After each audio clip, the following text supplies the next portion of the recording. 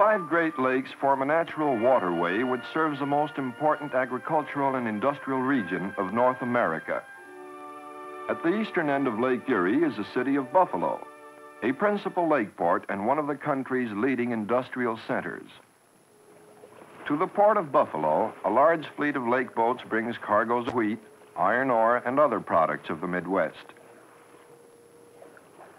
Day or night, these ships can find their way safely into the deep channel of the harbor because of the lighthouse which stands at the entrance of the port.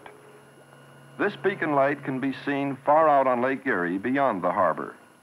Tom McKenna is the lighthouse keeper.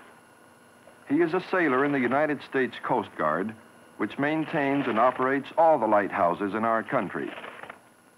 Tom's job is to tend the light. While on duty, he reports the arrivals and departures of the ships that move in and out of the harbor. The tower of the lighthouse is a good lookout station. Troops of Sea Scouts often visit the lighthouse and observe the port of Buffalo as part of their training. They are interested in the ships of the Great Lakes, as well as in the lighthouse itself. Can we come up now? Okay, come on up.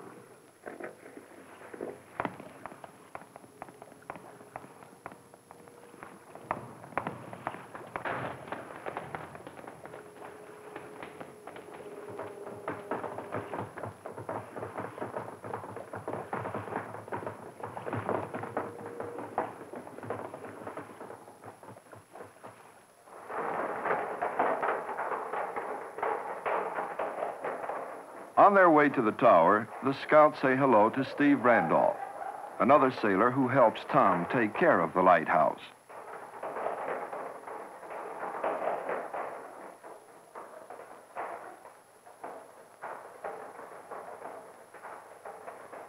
The Sea Scouts want to know why the harbor is considered so important. Tom explains that the port of Buffalo is a gateway for the products of the entire Great Lakes region which are sent to the eastern part of the United States. But the lake boats also bring raw materials for the industries of Buffalo itself.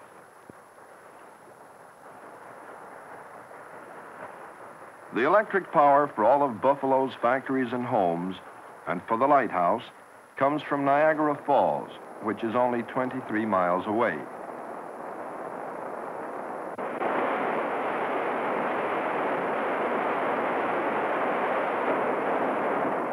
The tremendous flow of water running down from Lake Erie into the Niagara River is used to make electricity in powerhouses below the falls. This source of cheap electric current so near to Buffalo has helped to make the city an industrial center. Communities much farther away than Buffalo are also supplied with hydroelectric power made at the falls. The electric power runs the machines in Buffalo's factories which process the raw materials that are brought into its port. Buffalo has become a large city because it is located on the Great Lakes and is connected with the Atlantic coast through natural lowland routes.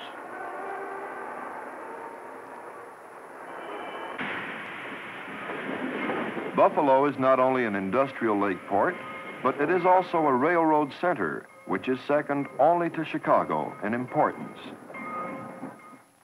Following the natural lowland routes, railways link Buffalo with the big cities of the eastern United States and of Canada.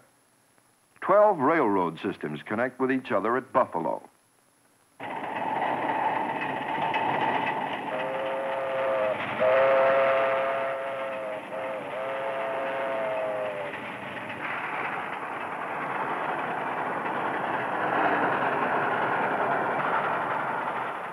Altogether, passenger trains and freight trains enter and leave the city nearly 100,000 times each year. Buffalo's location on so many good transportation routes has encouraged many industries to develop here. Buffalo's factories turn out a great variety of products. Almost every type of industry can be found in the city. The largest of these is the milling of flour. Buffalo's grain elevators and flour mills are the biggest in the world. A great deal of the wheat harvested in the central plains of the United States and Canada is shipped eastward across the Great Lakes. Half of it is brought to Buffalo, where the grain is stored, milled, and finally distributed.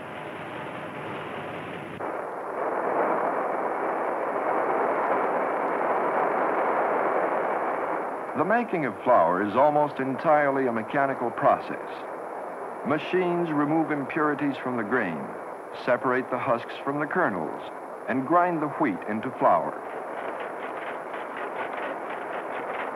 They sift the refined flour into sacks and even sew up the bags.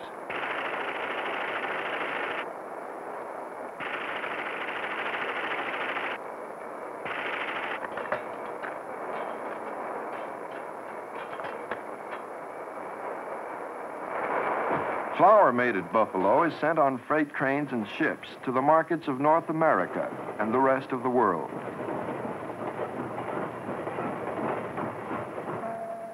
Another of Buffalo's big industries is the making of iron and steel.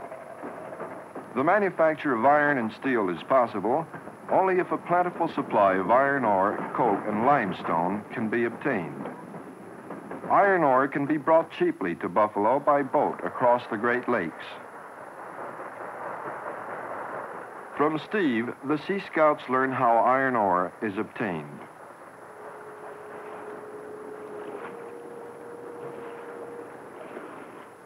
The iron mines are across the lakes, a thousand miles from Buffalo, at the western end of Lake Superior in the section of Minnesota known as the Mesabi Range. Mesabi is an Indian word meaning giant. The Mesabi Range supplies more than half of all the iron ore mined in the United States each year.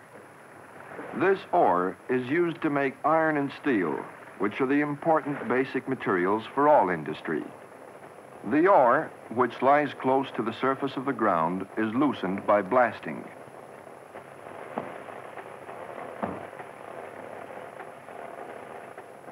Sticks of dynamite are lowered into blast holes that have been drilled for them.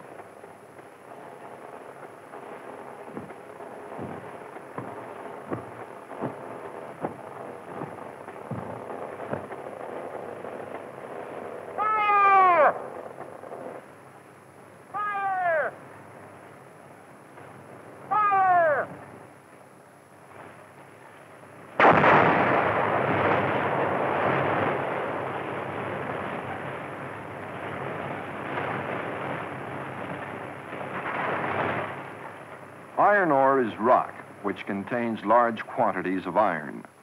But when it comes out of the ground, it just looks like big lumps of rusty earth.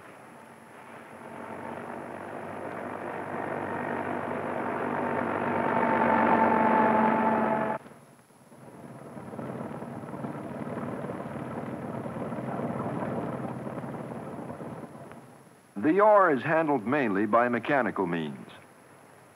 Trucks dump their loads through a trapdoor into a crushing machine. Then a long conveyor belt carries the crushed ore to freight cars. Trains take the ore from the Mesabi Range to Duluth, an important port at the western end of Lake Superior. The tracks run onto a trestle, and the trains stop directly over the loading docks. The ore drops through chutes into the holds of the ship. This method makes it possible to load large freighters within only an hour.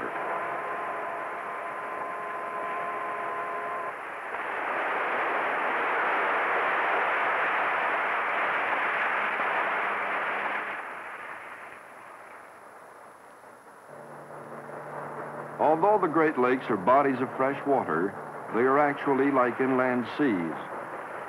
The Great Lakes do not have tides, but are often stormy and rough. Except during the cold winter months when the water freezes in the Great Lakes, hundreds of vessels ply the shipping lanes.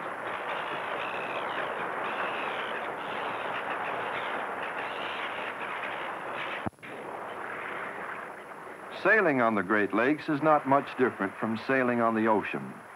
The lake boats are out of sight of land for hours at a time.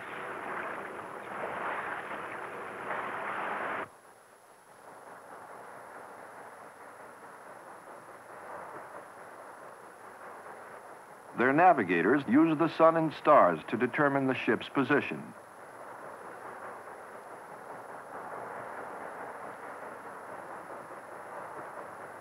The captain of a freighter on the Great Lakes is responsible for the safety of his ship, the same as the master of an ocean vessel. Like saltwater sailors, the crews keep the lake boats in good order. Many of these same men work on ocean-going vessels during the winter.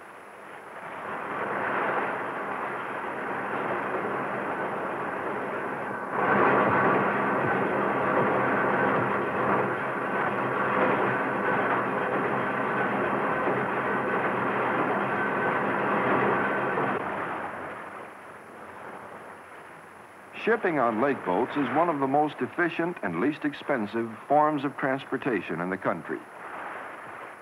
Between the ports of Duluth and Buffalo, ships cross Lake Superior, Lake Huron, and Lake Erie. The thousand-mile voyage takes four days. The link between Lake Superior and Lake Huron is the Soo Canal. In this canal, boats are raised or lowered from the level of one lake to the level of the other. The deck crews get ready as the ship approaches the lock, which is a section of the canal that can be made watertight.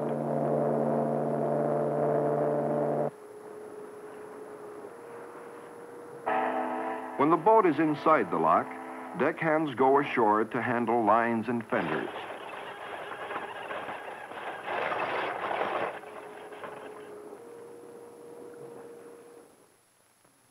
Water level in Lake Superior is 21 feet higher than that of Lake Huron.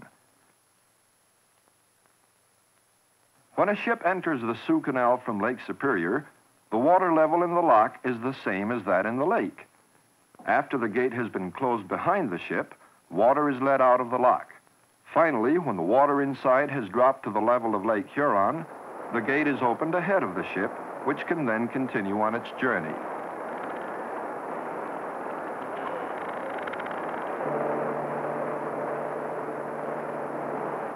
Each year, this small waterway handles more traffic than the Panama and Suez canals. Near the Soo Canal, the shore of Canada is not far from that of the United States.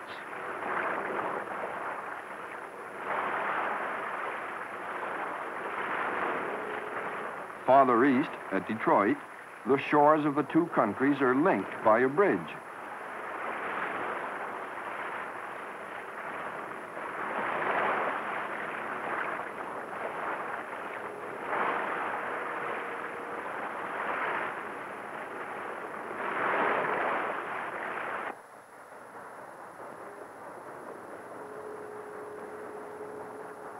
A freighter loaded with iron ore makes the voyage from Duluth to Buffalo in about four days. Steve explains to the scouts that freighters remain in port as short a time as possible. At Buffalo, they unload rapidly and then return to Duluth for another cargo of ore. The ore boats make so many trips back and forth that the captains know the crew of the lighthouse. As the ships go by, greetings are usually exchanged.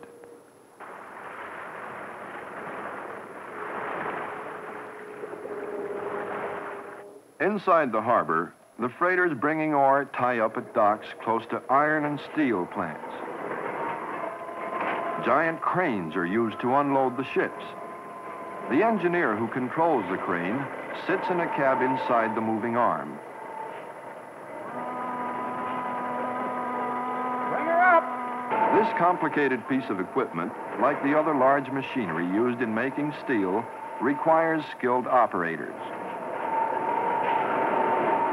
One crane lifts 17 tons in each bite.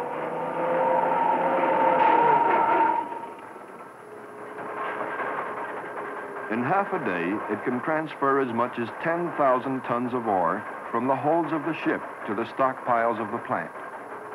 As the ore is needed, other cranes move it from the stockpiles to skip cars, which carry it to the tops of the blast furnaces. In the blast furnaces, iron is made. To the ore is added limestone, which has been brought from northern Michigan by ship. Coke is also added.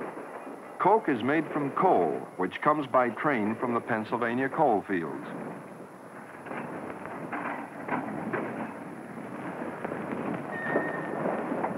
Coke is made by heating coal in great ovens. After certain gases have been driven off, what remains in the ovens is called coke. Coke has been found to be the best fuel to use in blast furnaces.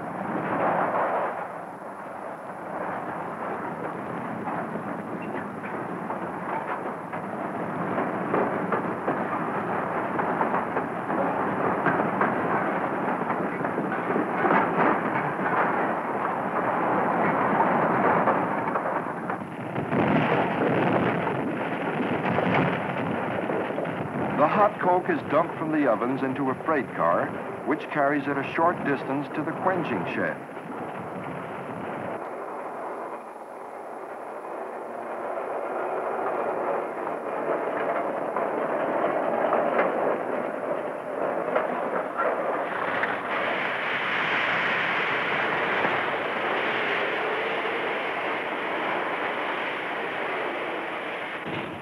Skip cars carry loads of iron ore, limestone, and coke to the tops of the blast furnaces.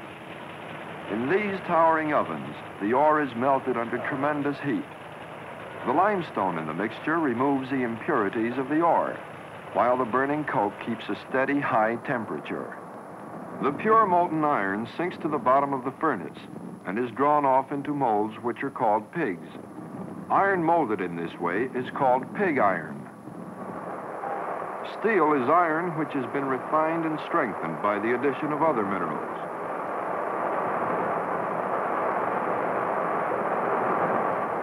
The white hot liquid metal is poured into molds.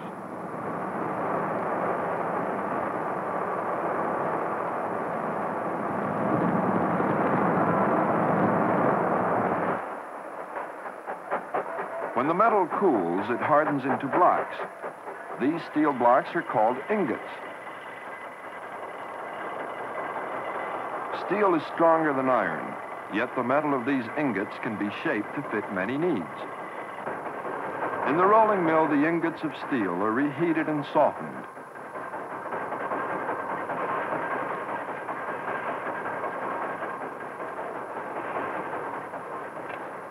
Then the metal is sent back and forth through heavy machines which gradually work it into bars, strips, and sheets.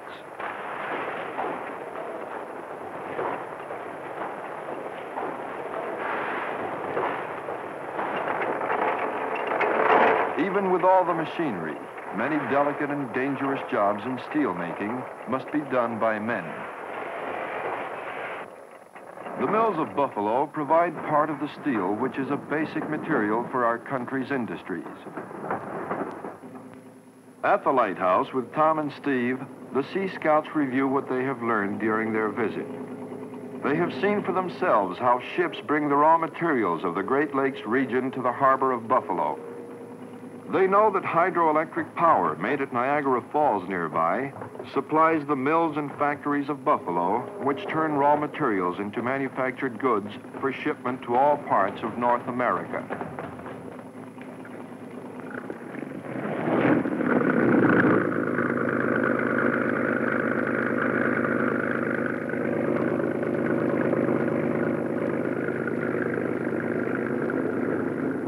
Launch takes the Sea Scouts back across the harbor toward their homes in the city of Buffalo. At this industrial lake port, many important land and water routes cross, linking the eastern United States with the Midwest and the entire region around the five Great Lakes.